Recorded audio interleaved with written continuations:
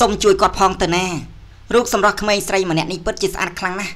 ក៏ប៉ុន្តែប្រហែលជាអភ័ព្វឪពុកម្ដាយបោះបង់ចោលពេលនេះកំពុងតែធ្លាក់ខ្លួនឈឺយ៉ាងធ្ងន់ត្រូវការជំនួយជាបន្ទាន់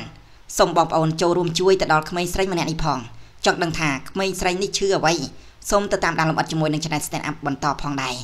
ថ្មីថ្មីនេះនៅលើបណ្ដាញសង្គម Facebook ឃើញថាមានការចាប់អារម្មណ៍ជាច្រើនអំពីក្មេងស្រីម្នាក់ដែលមានរូបសម្រស់ស្រស់ស្អាតខ្លាំងណាស់ ក៏ប៉ុន្តែបែរជាមកជាអភ័ព្វដោយសារតែឪពុកម្ដាយគ្មានទំនួលខុសត្រូវហើយទុកកូនស្រីចោលឲ្យរស់នៅជាមួយនឹងយាយស្របពេលកូនស្រីកំពុងតែមានជំងឺប្រចាំកាយនិងត្រូវការភាពកក់ក្ដៅយ៉ាងខ្លាំងពីឪពុកម្ដាយរបស់ខ្លួនយ៉ាងណាមិញបើយោងទៅតាមការបង្ហោះចេញពីករណី Facebook មួយបានប្រាប់បង្ហោះនិងរៀបរាប់ឲ្យដឹងថា កូនឈឺល្មមល្មមមិនយកទៅពេទ្យទេទុកគ្នាចោលរហូតដល់ថ្នាក់ហ្នឹងជួយ share បន្តផងបងប្អូន អ៊ំពូមីងយកតែបនទៅ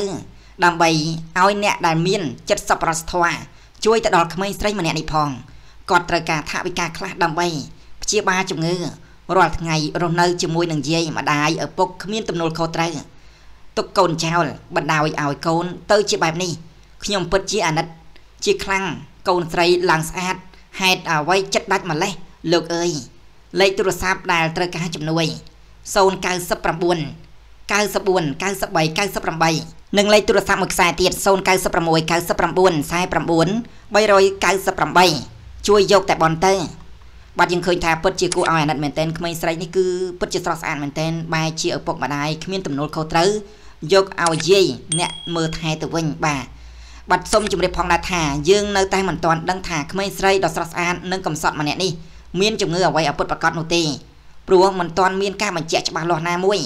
ឲ្យយើងដឹងថាគាត់ឈឺអ្វីឬក៏មានជំងឺអ្វីដឹងត្រឹមតែពេលនេះគាត់កំពុងតែត្រូវការជំនួយពីបងប្អូនសូមបងប្អូនជួយ share ចែករំលែកទៅគាត់ម្នាក់បន្តិចផងចុះបាទនៅក្នុងនេះគឺយើងឃើញថាពិតជាអាណិតក្មេងស្រីម្នាក់នេះមែនតើហើយក៏យើងអត់ទាន់ដឹងថាក្មេងស្រីម្នាក់នេះគាត់ឈឺអីប្រកបដែរហើយសូមបងប្អូនចូលរួម share ជួយទៅដល់ក្មេងស្រីនេះបើសិនជាមានអ្នកមានចិត្តសប្បុរសធម៌ជួយទៅដល់ក្មេងស្រីនេះបាទសូមចូលរួមជួយទៅដល់ក្មេងស្រីនេះផងដែរ បាទហើយនៅក្នុងនេះគឺខ្ញុំសង្កេតមើលក្មេងស្រីម្នាក់នេះប្រហែលជាគាត់ស្វិតដៃស្វិតជើងបាទគាត់ដើរអត់រួចណាបាទដើរអត់រួចជើងដៃរបស់គាត់ប្រហែលជាអត់កម្រើកបាទហើយជំងឺនេះតាមពិតបើសិនជានៅក្មេងគេហៅថាជំងឺស្វិតដៃស្វិតជើងណាបាទអឺជើងលែងកម្រើករួចដៃលែងកម្រើកកើតណាអញ្ចឹងត្រូវការការព្យាបាលវិញឆ្ងាយណាស់ដើម្បីព្យាបាលជាឬក៏ក្នុងដំណាក់កាលណាមួយដែលពេទ្យគាត់អាចមើលទៅថាជាឬក៏បញ្ជាគាត់ ត្រូវការព្យាបាលបែបម៉េចយើងក៏អត់ទាន់ដឹងដែរបាទហើយតាមការសន្និដ្ឋានរបស់ខ្ញុំទេបាទអញ្ចឹងសូមចូលរួមជួយផងបងប្អូនទាំងអស់គ្នាឃើញថាក្មេងស្រីម្នាក់នេះគាត់ស្អាតណាស់ប៉ុន្តែបែរជាឪពុកម្ដាយមិនមានទំនួលខុសត្រូវទុកកូនរបស់ខ្លួននៅយាយ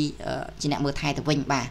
បានចឹងខ្ញុំក៏សូមបញ្ចប់ដើម្បីបន្តបាននៅព័ត៌មានបន្តទៀតសូមជួយចុច like ចុច share និងចុច subscribe លើ Channel Stand Up របស់យើងខ្ញុំផងដែរបាទសូមអរគុណសូមជម្រាបលា